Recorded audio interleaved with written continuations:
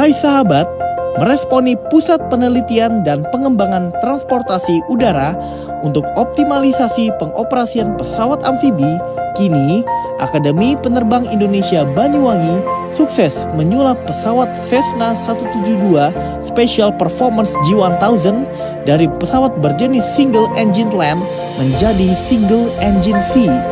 Dan hari ini Api Banyuwangi sukses melakukan uji coba pesawatnya di Teluk Pangpang yang diawaki langsung oleh Kapten Demi Setio dan Kapten Ivan dan berhasil.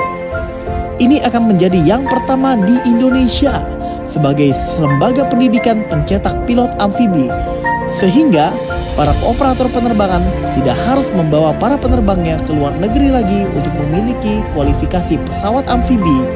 Sukses terus ya Api Banyuwangi